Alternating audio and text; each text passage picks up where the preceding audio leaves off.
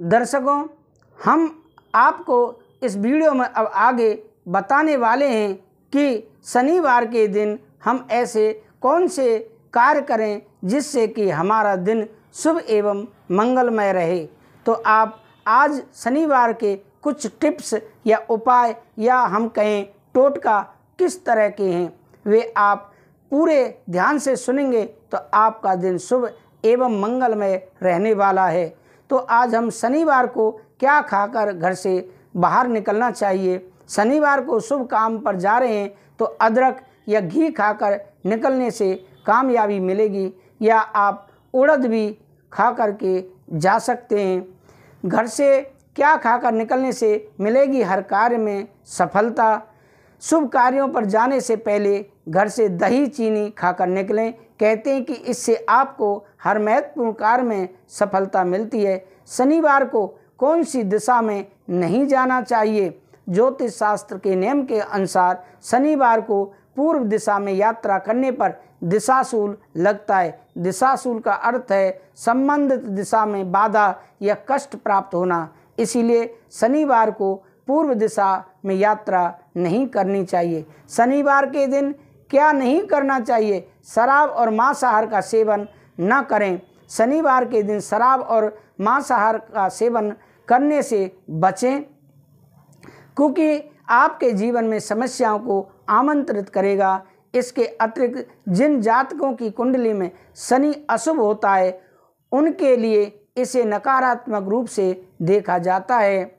शनिवार को कौन सा व्रत होता है? शनिवार के दिन शनि को समर्पित होता है। शनिदेव हर व्यक्ति को उसके कर्मों के हिसाब से फल देते हैं, इसीलिए उन्हें कर्मदा, फलदाता भी कहा जाता है। शनि को प्रसन्न करने के लिए लोग उनकी पूजा व्रत और उपासना करते हैं। शनि की साढ़े साथी शनि दोष से मुक्ति के लिए शनिवार का व्रत रखना और पूरे विधि विधान से पाठ करना उत्तम माना गया है।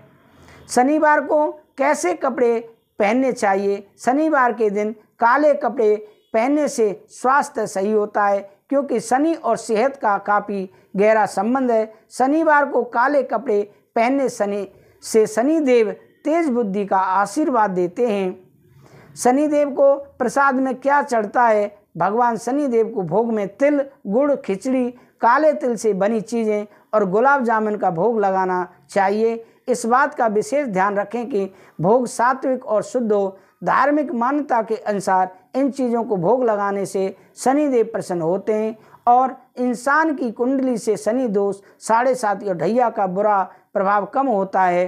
शनिदेव को प्रसन्न करने का मंत्र क्या है? शनिदेव का महामंत्र है, ओम नीलांजन सभाभासम रविपुत्रम यमाग्रजम। छाया मार्तंड संभूतम तम नमामि शनिश्चरम। इस मंत्र का आप कम से कम ग्यारह बार जाप करें। शनिदेव को प्रसन्न करने का और दूसरा मंत्र यही है। ओम श्री शनिचराय नमः। ये छोटा सा मंत्र है। आप इसका भी जाप कर सकते हैं। कम से कम 108 बार इसका जाप करें। शनि की कृपा पाने के लिए क्या करना चाहिए? शनिदेव की कृपा पाना चाहते हैं तो मांस और मदरा का सेवन ना करें।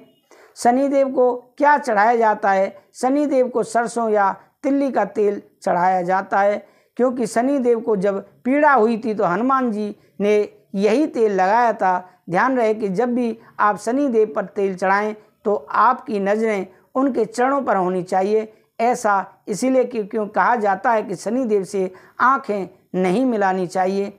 शनिवार को कौन सी दाल दान करनी चाहिए? शनिवार के दिन काली उड़द की दाल दान करना चाहिए, शुभ माना गया है, लेकिन इस दिन काली दाल नहीं खरीदना चाहिए। शनिवार को टोटका क्या है? मतलब शनिवार के दिन का टोटका क्या है? शनिवार के दिन शनि यंत्र की पूजा की जाए तो इससे शनि देव की कृपा बरसती है। शनि देव के बुरे प्रभाव को शांत करने के लिए शनिवार के दिन शनि यंत्र की पूजा करें मांसाहार का त्याग करें और अपने सामर्थ्य अनुसार गरीबों को दान करें।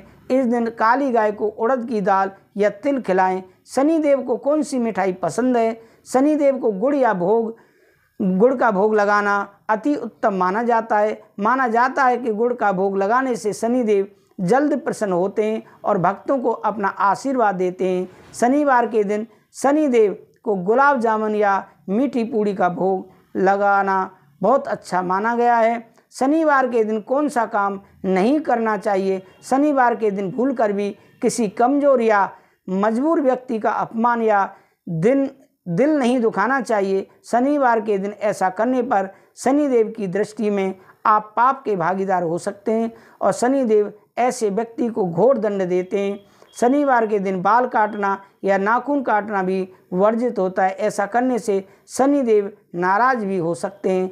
तो दर्शकों, ये रहे शनिवार के उपाय। अगर आप इन उपायों के अनुसार अपनी दिनचर्या रखते हैं तो आपका दिन शुभ एवं मंगलमय रहने वाला है। मैं निवेदन करता हूँ, अगर आपको हमारे ये उपाय अच्छे लगे हों तो अपने मित्रों को और परिवारीजनों को शेयर करना ना भूलें।